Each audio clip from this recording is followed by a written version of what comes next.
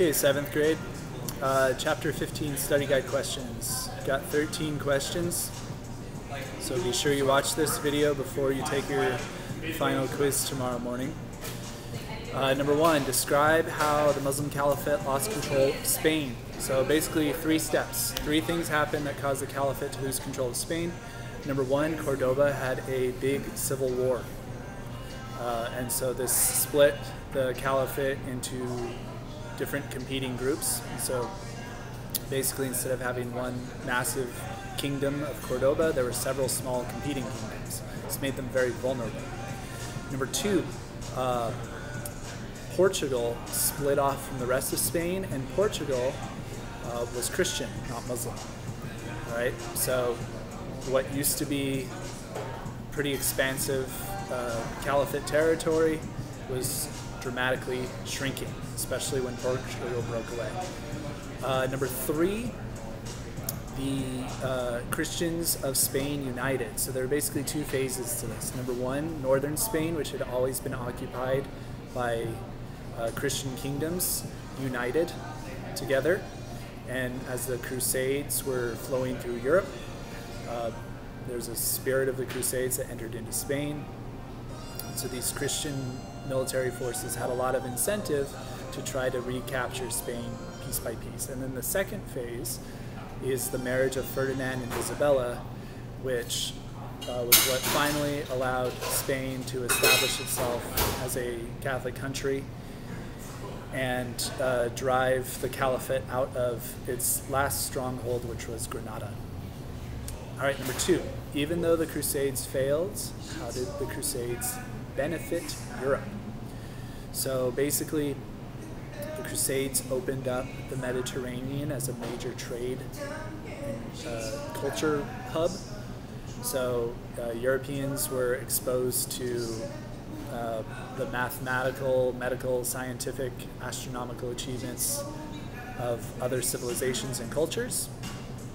Uh, they benefited tremendously from trade with those cultures, especially when it came to acquiring spices, which allowed them to preserve meat. Um, and then finally, uh, the Crusades inspired exploration in Europe. Right? It opened up Europe's eyes to the existence of other places in the world and the potential benefits of going there. Right? So, because of the Crusades, sailing across the Atlantic became more of a realistic possibility. Right? And so in 1492, Christopher Columbus does this. Probably would not have happened when it did if the Crusades didn't happen. Number three, why did William the Conqueror believe he had a claim to the throne of England? Because he was related to his predecessor, Edward II, as a Norman.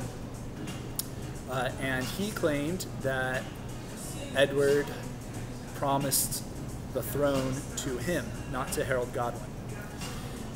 How did the Norman conquest change England? Well, it introduced uh, the French language into the Anglo-Saxon dialect, and when Anglo-Saxon mixed with mixed uh, with the French language of the time, it produced English. Another change is that it uh, feudalized England. Harold Godwin had his nobles set up uh, kind of like a vast upper class. He didn't really have a strong feudal system. Um, but because all of these Anglo Saxon nobles were killed in the Battle of Hastings, there's all this land and territory and property up for grabs. William the Conqueror divvied that up among a much smaller group of nobles, which made the small group of nobles extremely powerful. And of course, um, for reasons we've already learned, Europe is particularly suited to feudalism. Number four, why did Pope Gregory IX create the Inquisition? Uh, to deal with heresy, right? He was very worried about rogue priests and bishops, rogue clergy, who were teaching things contrary to the magisterium at the time. Um, and so he created the Inquisition to try to root them out and stop it. He also used the Inquisition against uh, Muslims and Jews right, as a tool of persecution. Um, remember, the Inquisition wasn't all death and torture, though, right? There's he had good reasons for doing what he did. So I don't want to make it seem like Pope Gregory the Ninth was a bad guy just because he created the Inquisition. Right? He, he did have good intentions for it as well. Number five, what disagreement did Charlemagne and Pope Leo III have with one another? Who was in charge? Right? They got along really well, so they never fought over this. Charlemagne thought, because Pope Leo III put the crown on my head, that means I wear the crown, that means I'm in charge. Pope Leo III thought, well, I was the one who placed the crown on his head, so that authority comes from me and it goes to him. So he works for me. Number seven. Oh, wait, no, sorry. Uh, number six. What did the nobles demand? Why did the nobles demand King John sign Magna Carta? Why did King John agree to do this? So they didn't like King John because he was really terrible when it came to winning battles. He lost several major battles in Normandy in a row. So basically, he thought the nobles thought King John was flushing away their money on these wasted battles. Right? They thought we don't mind paying taxes for battles that we win, but because we're never going to win, we don't want to flush our money away just to feed King John's ego. King John agreed to sign Magna Carta even though he didn't want to, because the nobles and the church basically threatened to uproot him, to rebel, to give him an ultimatum. Sign this document that limits your power, or you're going to have a mutiny on your hands. And the Catholic Church might, I don't know, excommunicate you or something like that. So he's basically forced to. Number seven, in what ways did Magna Carta reduce the power of the monarch? Even though Magna Carta was created to benefit nobles, how did it help peasants and serfs as well? So Magna Carta reduced the power of the monarch by shifting power away from the throne to the Council of Nobles. So for example, uh, Council of Nobles was established as a legislative body. The monarch was not allowed to just impose taxes willy-nilly anymore. He had to get the approval of the Council of Nobles. Uh, it helped peasants and serfs as well, though. Why is this? Because of rights like habeas corpus. Um, it said that the king had to follow the law, right? So the king had to obey his own rules. Right? The king had to obey laws that were passed by the Council of Nobles as well. This is a really big deal. Number eight, how were Jews treated during the time of the Crusades? Um, depends where they were right? If they were in Europe or on the road to Constantinople or Jerusalem, pretty terribly. Um, roaming tribes of uh, rogue knights, uh, Christian mobs would brutalize Jewish towns, so much so that about 2,000 Jewish families committed suicide to avoid this. Uh, but in places like Jerusalem and Constantinople, uh, the Jews were liberated because they were being persecuted even worse by the Seljuk Turks.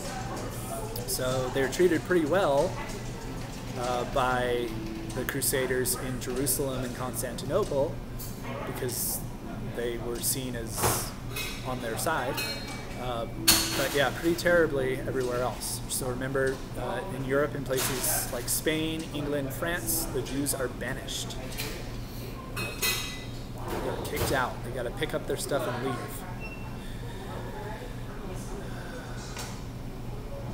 All right, number nine. How did the coronation of Charlemagne strengthen the power of the Roman Catholic Church?